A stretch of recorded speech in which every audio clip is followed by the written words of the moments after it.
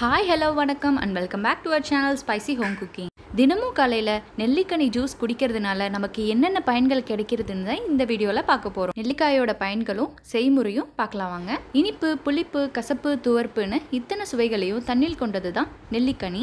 இதோட பயனை அறிஞ்சு ஆயுர்வேத மருத்துவத்தில் நிறைய பயன்படுத்துகிறாங்க தினமும் ஒரு நெல்லிக்கனி சாப்பிட்டு வர ஆப்பிளை விடவும் அதிக சத்துக்களை நம்மளால் பெற முடியும். நெல்லிக்காயை தினமும் சாப்பிட்றதுனால நமக்கு என்னென்ன பயன்கள் கிடைக்குதுன்னு ஷார்ட்டாக பார்க்கலாம். இது இதய நோய் வராமல் தடுக்குது. சர்ம நோயை குணமாக்குது நோய் எதிர்ப்பு சக்தி அதிகரிக்குது எலும்புகளை வலிமையாக்குது சர்க்கரை நோயை கட்டுப்படுத்துது தலைமுடி வளர்ச்சியை அதிகரிக்குது கண் பார்வை தெளிவாக்குது.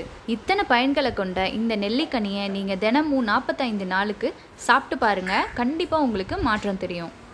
இதில் மெக்னீசியம் நியோசின் அமினோ அமிலங்கள் தயாமின் வைட்டமின் சி நார்ச்சத்து சோடியம் பொட்டாசியம் பார்ப்ரஸ் கால்சியம்னு இத்தனை சத்துக்களை கொண்டது தான் நெல்லிக்கனி. இந்த நெல்லிக்காய் ஜூஸை ரொம்ப ஈஸியாக செஞ்சிடலாங்க.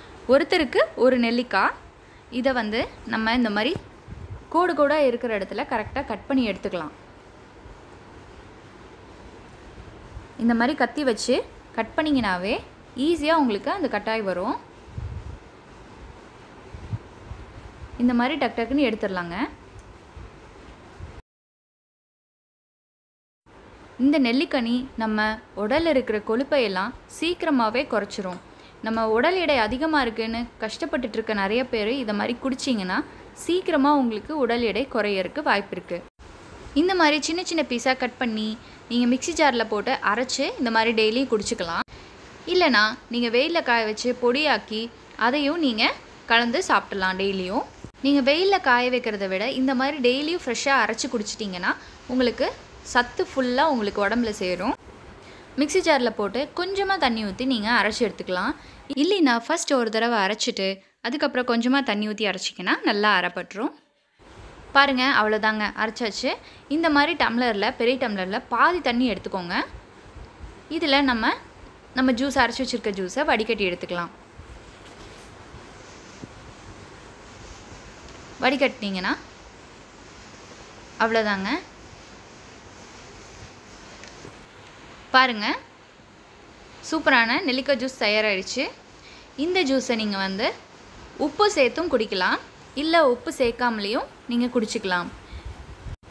நம்ம இதை வெறும் வயிற்றில் குடிக்கிறதுனால டெய்லியும் உப்பு சேர்த்து குடிக்கிறதும் நமக்கு உடம்புல சைடு எஃபெக்ட் வரக்கு வாய்ப்பு இருக்குது அதனால் உப்பு சேர்த்தாமல் குடிச்சிக்கிட்டிங்கன்னா நம்ம உடலுக்கு ரொம்ப நல்லது.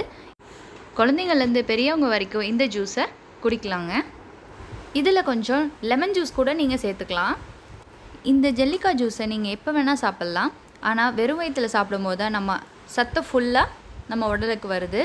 குறிப்பாக ஆண்களுக்குன்னு பார்த்தீங்கன்னா அவங்க எப்போ வேணால் குடிக்கலாம். பெண்களுக்கு குழந்தை பிறந்தக்கப்புறமா நம்மளை ரொம்ப வீக் ஆயிரும். அதனால் இந்த ஜூஸை நம்ம டெய்லி எடுத்துக்கிட்டால் நிறைய மாற்றங்கள் நம்ம உடலில் தெரியுது. இந்த ஜூஸை ரெண்டு மாதம் தொடர்ந்து நான் குடித்தேங்க என்னோடய முடி கொட்டுற பிரச்சனை என்னோடய உடல் எடை பிரச்சனை எல்லாமே சரியாயிடுச்சு. இன்னும் நிறையா இருக்குது ஸோ நீங்களும் இதெல்லாம் ட்ரை பண்ணி பாருங்கள் கண்டிப்பாக உங்களோட உடலில் மாற்றம் வரும். இந்த ஜூஸ் செய்கிறதுக்கு அஞ்சு நிமிஷம் கூட ஆகாதுங்க. இதை ட்ரை பண்ணி பாருங்கள் அண்ட் ரிசல்ட்டை கமெண்ட்டில் தெரிவிச்சிருங்க.